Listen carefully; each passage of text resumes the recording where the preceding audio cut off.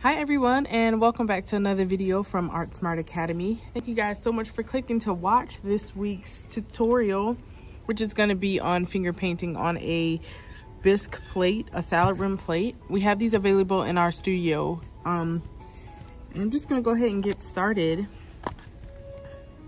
I have a couple glaze colors with me. I have yellow, lavender, and a pink and green and then I have an underglaze pencil but I'll show you how to use that a little bit later.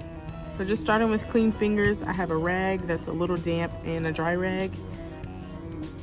I'm going to take my yellow glaze starting from light to dark color and I'm going to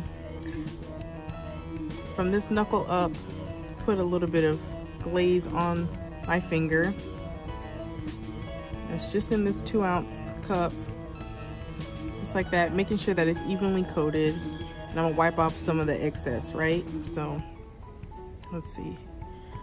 Starting with the rim that's closest to me, I think I'm gonna start from the outside in and I'm gonna wing it. If you would like to use a water-based marker to do some outlining, you can, but I'll just go ahead and wing it taking my finger and my other finger, I'm gonna press firmly down. Depending on how much you have on your finger, it might last you a couple of prints, making sure that I'm going in firm and going over a couple times.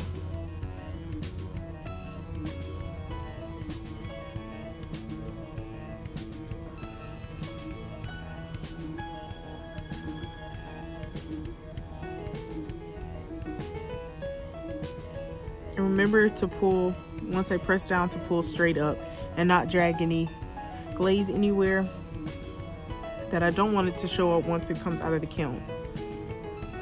At this point, I'm gonna continue to rotate the plate and you can watch, but I'm gonna fast forward the video. So if you need to pause to catch up um, between each flower, you can do that.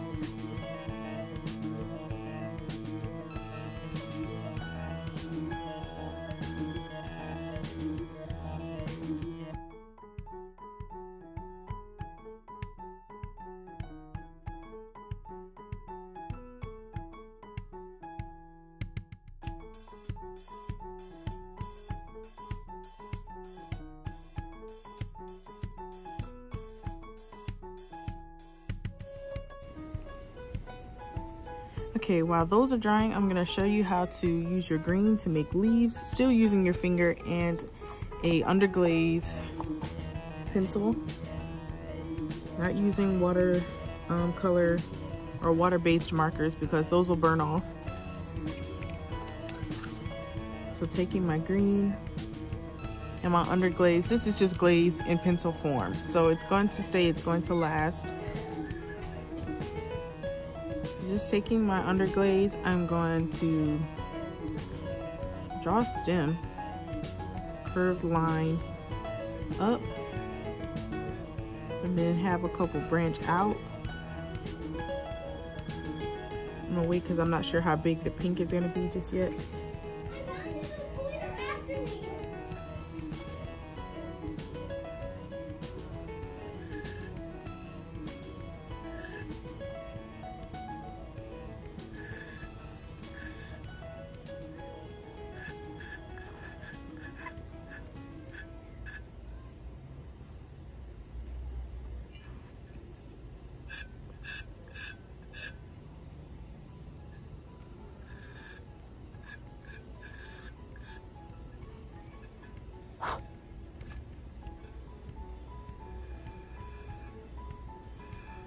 Making sure my lines are nice and clean.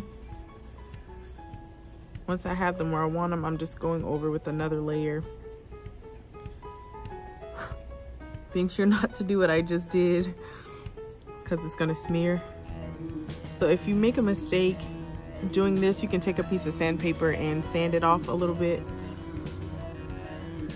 I'm just going over those lines a couple times for a solid look, okay? And then as before, taking my finger and my green paint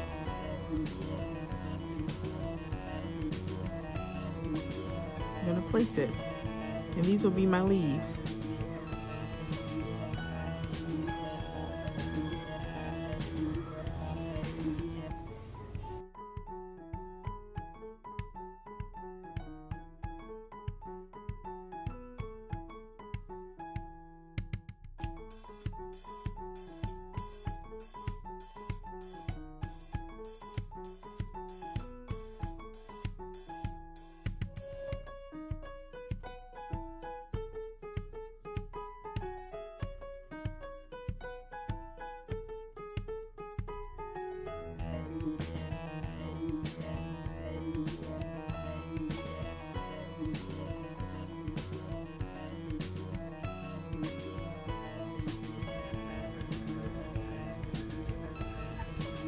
In order for this underglaze to stick and show up once this has been fired in our kiln, I have to make sure that I scrape a little through the glaze of my fingerprint so that it sticks to the actual bisque plate.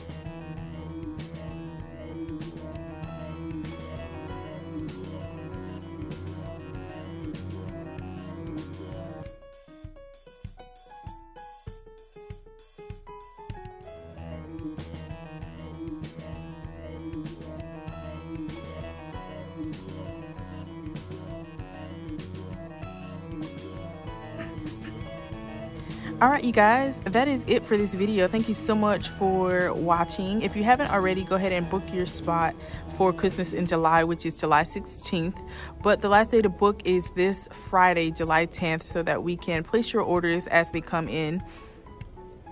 When you place your order and then you bring in three non-perishable food items you'll get to paint one free ornament with your christmas heirloom um, tree Make sure you subscribe to our YouTube channel, follow us on Facebook and Instagram. I'll link those in the description below. Have a good day, and I'll see you guys in our next video.